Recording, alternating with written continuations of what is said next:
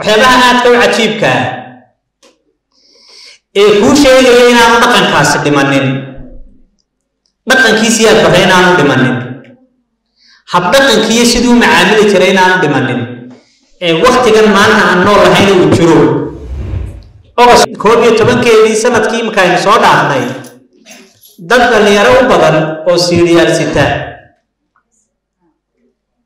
oo aan ujeedo kale lahayn dhallinyaradaasi waxa ay doonayeen ufa koob iyo markaa ay maxaan ku dhahdaa ay ay muddo soo baxeen in la xidhayay waxay doonayeen xuquuq ay leeyihiin. Dadkuna waxyaabaha ay tahay inuu cabiro dimuqraadiyaddu waxa ay saamaxday isma dilayna baa layidhi qori ma qaadanayna baa layidhi xabad ma sidana baa layidhi qofkii markaa dareenkiisii hab uu cabiro u baahan yahay hoggaankii hadduu qaldamo hab loo soo qabtaa loo baahan yahay soo maa habkii loo soo qabanayay baa waxaa laga dhigay inay dadku soo bixi karaan oo ay mudaharaadi karaan oo ay dareenkooda cabiri karaan oo waxa ay doonayaan ay sheegi karaan. Maalin keliya hataa toddoba qof halkaa saddex cisho siyaad barre markaa mudaharaadka laba qof baa ku dhintay arday iyo macallin maalin keliya hataa ayaa toddoba qof ay ku dhimatay. Maxaan ku dhahdaa mudaharaadkii koob iyo ogs koob iyo tobankii ogs labadii kun iyo labiyo labaatankii. Su'aashaad markaas weydiinaysaa waxay tahay xuska maalintani macno noocee buu kuu samaynaya dhaqankii maalintaa aad diiday hadduu weli jiro. Way ka tagto haddana laascaanood bay tagtay. Same scenario ayaa iyadana ka dhacday. Waxyaabaha aadka u cajiibkaa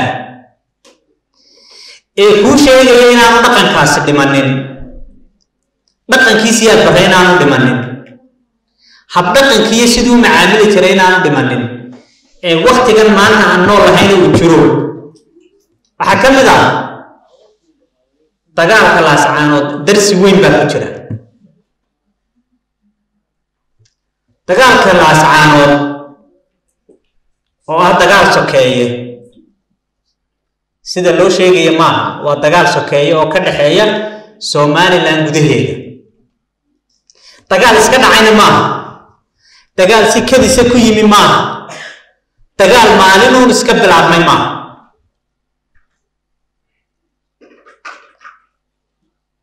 Dagaal sabab la'aan dhacayna maaha. Runta marka dee lagu hadlo ee la sheego. Labiyo soddon sano oo ay somalilan jirtay dadka reer qalbigooda reer somalilan way hanan kari waaye runtu taa weeye way u daadegi kari waayeen qalbigooda. Waa la doodi kari weyne waan qancin kari weyne. Taasun kumaynaan eegaan cadaalad way naga arki waaye habqaybsigii dowladnimay cadaalad ka arki waaye ma arkayseen boqol arday oo scholarship ahoo mayd maxaa u dambeeyey kaa la sii sido la yidhi laba qof baa reer soola. Ma cadaalad baa. Maxaa hargeyso loogu qabanayey itixaanka maxaa laascaanood loogu qaban waayo u diiday in laascaanood lagu qabto? Ee hargeyso loogu qabanaya haddii cadaalad la doonayo dowladnimo la doonayo wadajir la doonayo midnimo la doonayo. Laakiin taasaan loo socon oo la doonayn iyadoo intaasi dhacaysa haddana garowshiye weyn laga waayo mas'uuliyiin waaweyn oo dowladdan maanta ka jirta ayaa dad ciidamada ka tirsanaayo tegay ha iska tagaan marka horeba waxba may taraynine golaheena guurtidaa maqlaysay guddoomiyaha golahole waaroodo reerkaagii ka soo dhex qayli nadaafooda iyaga u tag laga waayo. Dadka reer sol waa dad qable dad doqmaa maaha qabkooda iyo hankooda wax satisfy gareeya oo qanciya way inaga dhexarki waaye. Runtu taa weeye. Waxaa run ah inaanay dastuurka jamhuuriyadda somalilan ee kun maxaan ku dhahdaa ninety sevenkii loo codeeyey aan gobollada sool ee dadkaa maanta tabashada weyn qabaa ay degan yihiin iyo inta ay sanaa ka degan yihiin aan aan looga codaynin. Sidii koob iyo lixdankii dastuurkii soomaaliya aanay ugu codaynin dadkii hargeysa iyo burciyo berberiya joogay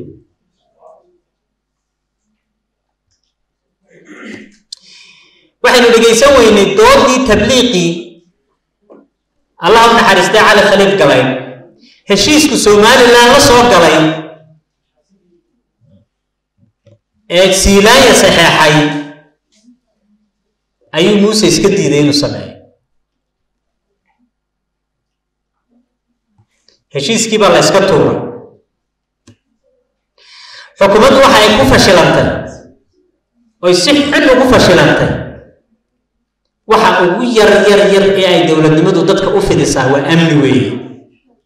Adeegga ugu yar ee la rabo dowladnimadu inay dadka u fidisaa waa nabadgelyo weeye waxay ku fashilantay dowladdu in ay nabadgeliyo dadkaasi nabaddooda ay sugto. Haldoorkoodii baa la dilay. Maalinba nin la dilay. Maalinba kii magaca lahaa ee muuqanaya laga dilay. Maynaan arag intii waxaasi ay dhaadhacayeen weli mas'uul xukuumadda gobolka u qaabilsan amni ahaan ama siyaasad ahaan oo xukuumaddu arrintaa aawoodeedu casishay ama dembi ugu saartay ama u canaanatay ama wax sheegtay. Intaasoo dhammi markay dadka reer soo ku dhacday ee frustrationkoodii uu halkan soo gaadhay dhallinyaradoodii way soo baxeen iyagoo xanaaqsan bay soo baxeen jawaabtii iyaguna ay heleen waxay ahayd dhallinyaradii lahayd waar nabadayada ha la sugo waar amnigeyga ha la sugo. Waxay noqotay in xabad haddana iyagii lalaga dhaco oo haddana in kale laga laadiyo markaasaanay haddana taana garooshiiyo ku heli. Sababta uu dagaalka laasacaanood u bilaabmay sababaha weeye. Markii marka dagaalku dhacay ee dagaalka laasacaanood u bilaabmay. Xukuumadda waxaa laga filayay inay mas'uuliyad qaato. Waxaa laga filayay inay dadka dejiso. Waxaa laga filayay inay la timaado wixii hore wax ka duwan. Laakiin dhaqankaasi ma yaallo. Siyaasadda waxaa jira wax la yidhaahdo siyaasadda ama communicationkeeda. Waxa la yidhaahdo laybelin baa jira laybelin oo macnaheedu yahay qofkaad u aragtay inuu cadow siyaasi oo kaa soo horjeeda waa inaad shaambadu hesho. Waa inaad adigu magac u samayso aad magac u bixiso. Wax ku cusub siyaasadda maaha. Ilaa nebi maxamed bay soo jirtay calayhi salaatu wasalaam. Nebi maxamed markii uu yimid ee uu xaqa la yimid uu dadkii diinta u sheegay kuwii gaalada ahaa ee u yimid xaqii nebi maxamed calayhi salaatu wasalaam uu ka hadlayay waxay ku difaacaan way waayeen. Laakiin maxay idhahdeen waa saaxir bay idhahdeen sixir. Ayuu ninkani sitaayo wixiisu sax maaha bay idhahdeen waktigan hadda aynu nool lahay qofka siyaasiga ah ee ugu caansan dunida ee labelinka isticmaala waa ninka donald trump la dhahdo waa ninka fake news soo wada taqaanaan. Waa ninka fake news soo saaray donald trump wuxuu soo baxay isagoo ah wax kasta oo madaxweyne maraykan ka noqon karaa uu leeyahay iyo quality kastuu leeyahay. Taatu ka soo horjeeda isagoo leh. Isagoo been iska sheegaya madaxweyneyaasha dunidu been ma sheegaan. Waa ceeb wey isagoo been sheegaya isagoo wuxuu doona iska odhanaya isagoo dumarka maagaya isagoo yacni ceebo badan badan badan laakiin muxuu ka badbaaday markiiba wuxuu leebelgareeyey miidhiyihii oo wuxuu yihi miidhiyihii waa cadow cadow bay yihiin. Ereyga cadow somalilandna aad ugu maqasheen baan filaya siyaasiyiintoodoo ka hadlaya ereyga cadow waxaa loo isticmaalaa si runta iyo xaqiiqada jirta looga tago waa in wax laguu sheego oo dabadeetana cid cadow lagu sheego oo ciddaa lagugu jiheeyo oo adigoo naqiiqan aad adiguna ciddaa gasho weeye oo aan adigu waxba isweydiinin oo aan wax su'aala isweydiinin bal waxaan doonayaa inay i yareegtaan muuse biixi iyo tiim tiimkiisu siday labelinka u sameeyaan. Maalin dhaweyto waxaan dhegaystay khudbaduu madaxweyne muuse jeediyey shan iyo sagaashankii oo golaha wakiilada somalilan u jeedinaya oo dagaalkii sokeeye ee xilligaa uu socday kaga hadlaya wuxuu qeexayay dadka markaa uu la dagaalamayay cidda ay yihiin. Laba magac buu u bixiyey. Wuxuu yidhi somalilan diid. Somalilan waynu jecelnay soo maaha. Haddii maanta guro qofkaas waa somalilan diid waxaad u arkaysaa qof cadowo wixii aad u adlahayd ka soo horjeeda. Maxaa lagu leebel muxuu leebelgaraynayaa dadkaasi waa somalilan diid. Waxa kaluu yidhi al-itixaad al-islaami baa iyaguna dagaalkaa ku jiro oo dagaalamaya maalmuhu aad bay isugu eegyiin haddaad isla akhrido oo aad si fiican isula eegto. Hubaantii waxa ah inaan somalilan diidna aanay dadkaasi ahayn. Al-itixaadna aanay ahayn ee dad walaalaha oo reer somalilana oo isdilaya una ay ahaayeen. Kii xisbiga waddani markuu ololihii doorashada ku jiray xisbi aad u awood badan ayuu ahaa. Mar kale muuse iyo tiimkiisu waxay adeegsadeen isla laybelinkii waxaad dhegaysateen muuse oo khudbadaynayo oo leh xisbiga waddani waa soomaali weyn. Lixle iyogaa ka soo kici doona hebel iyo raggii sanamta ahaa ayaa lixudka la soo kici doona.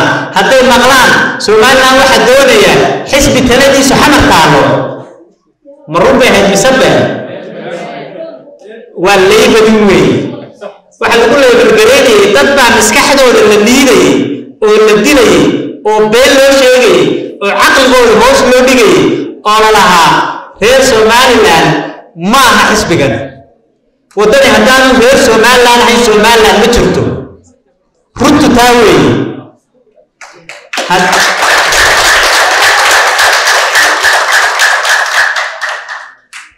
Mar kale u kaalay mudaharaadkii ugu dambeeyey ee iminka aynu ka hadlaynay ee ox koob iyo tobankeedii dhacay.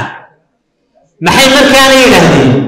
Cabdiraxmaan ciro ayaa ciidan argagixisaa xamar ka keenayoo halkanay nala joogaan bay yidhaahdeen.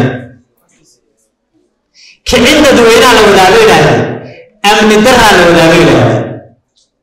Waa laybali waa inaad dadka wuxu sheegto been u sheegto waxaan jirin intaad u sheegto. Dabadeetana dadka ku hawlgeliso ood ku dagaalgeliso may odhan karaynin dadkani xaqay leeyihiin bay doonayaan. Dadkani doorashay doonayaan. Dadkani dimuqraadiyad bay doonayaan runtu taasay ahayd laakiin taa may odhan karaynin. Maanta laasacaanood markaa maxaa la yidhi kuwaa hore uun laykaa kamay baydhin waxaad weydiinaysaa markaa dadkaagu ma wax garataan ma wax ma garataan. Miyaanay fikiraynin miyaanay su'aale isweydiinaynin. Hadalladan miyaanay isla akhriyaynin isla eegaynin. Laascaanood maxaa la yidhi markaa maanta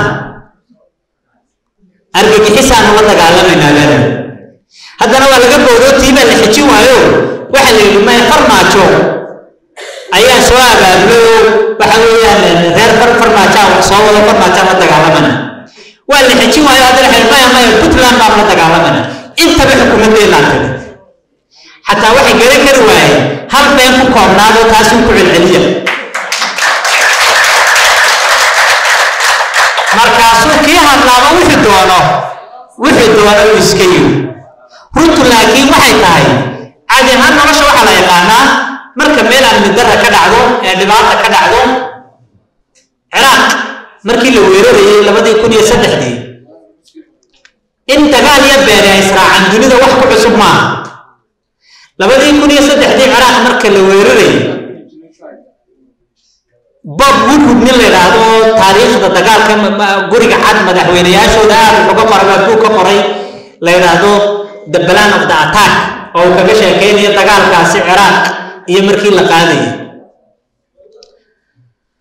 Waxay dooneen markii hore inay ku xidhaan ilaan waa inaad wixii sabab u samayseen waxay dooneen inay ku xidhaan ay yidhaahdaan saddam xuseen waxa uu xidhiir la lahaa wixii dhacay sebtembar 11 tii bay waayeen waxay idhahdeen markii dambe wuxuu haystaa atomic bamki soo maaha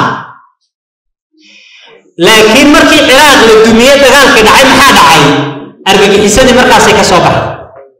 Marka meel haddii dagaal ka dhaco dhibaata ka dhacdo rabshadi ka dhacdo waa suurtagal inay argagixisa timaado oo dad dambiilayaali ay yimaadaan.